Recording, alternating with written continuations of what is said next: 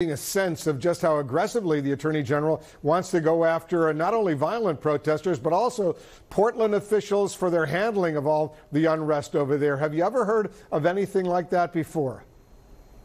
I have not, Wolf, and it's a disgrace. And it is for a number of reasons. Number one, if you want citizens to trust the government, citizens have to know that people are being prosecuted because there are violations of law.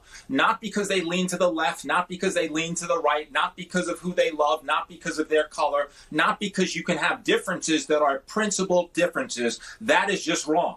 It's wrong for other reasons in terms of principles of federalism. We have governors across this country. Those governors are elected by people in their states that respect what they do and that look to their leadership. And just because you at the federal level disagree with what they're doing, that's not a call for prosecution. And finally, Wolf, you know, we impanel juries in this country and we ask those jurors to respect the rule of law. And we say, with, without regard to fear or favor, do your job.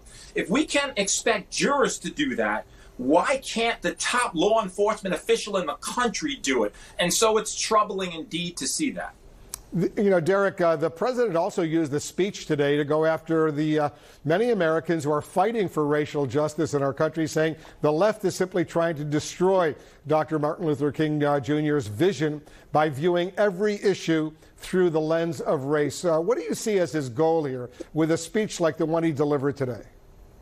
Well, it's fear mongering. It's, it's out the playbook of, of appealing to the lowest common denominator to create a level of fear of, uh, of, with the American uh, voting citizens that's unconscionable.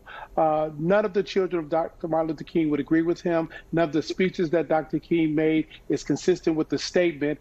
And in fact, uh, as the Attorney General, you know, I wonder if we should be looking at ways we can impeach him. We should not, in this moment, politicize just the democratic principles of allowing people to exercise their First Amendment right to peacefully protest in the street. We should not politicize the administration of elections in order for us to continue to represent that we're the strongest democracy, emphasis democracy in the world. We must open up access to voting, not politicize it to try to sway the outcome of an election.